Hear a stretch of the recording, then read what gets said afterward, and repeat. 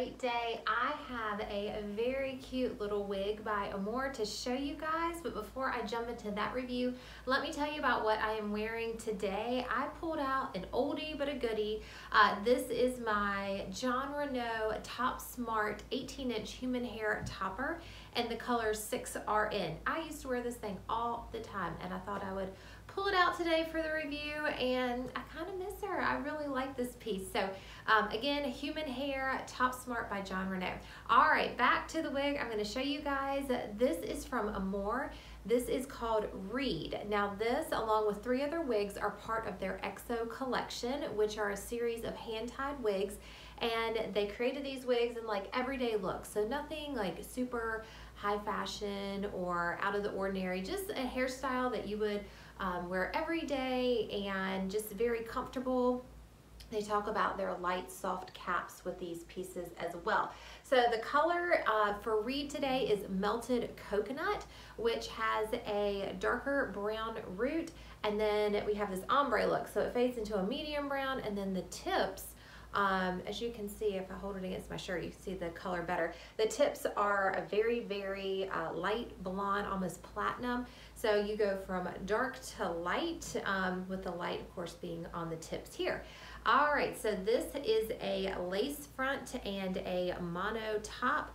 And then again, with this Exo, Exo collection, they talk about the softness of the cap and the uh, flexibility and stretchiness of it. So that is the features of this cap.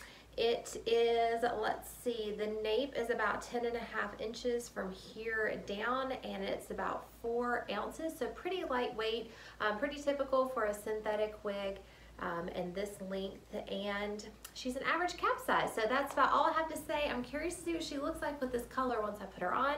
Uh, be screenshot ready. Here are all the details on Amore's Reed.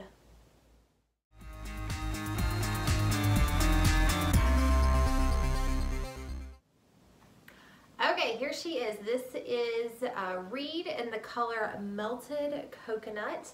Um, so first impression I would say is she's very top heavy. Like there's a lot of hair and layers up here. And then the bottoms down here are kind of sad. like there's not, there's not a lot of hair down here, um, which I just don't like an unbalanced look like that. Like synthetic wigs can tend to look a little like, I call it helmet head anyway, where they're very thick and dense right at the cap.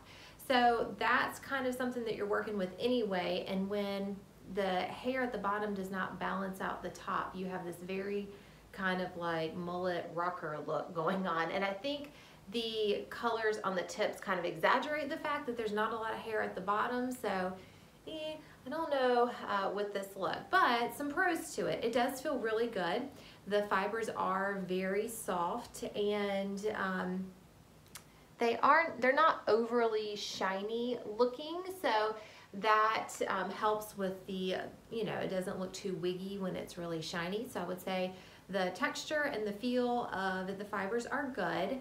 The color, I don't know. I know what they were going for with this ombre look, but I feel like they needed to kind of maybe start the blonde up here and kind of fade it in a little more. It's very like brown blonde, you know, it's a very um, noticeable line between the two colors where a true ombre just kind of fades in and it looks a lot more natural. So the color I feel like is a little off with these exaggerated tips.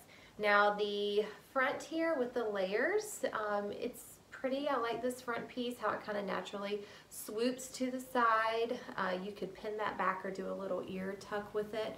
Um, again, that might just add some bulkiness right there, so I'm not too sure um, about that. But it is a very kind of choppy to layered look. As you can see, it's very, that is that is the length um, or the, the cut that they have put on this one. So just be aware that it's choppy but kind of thin layers down there.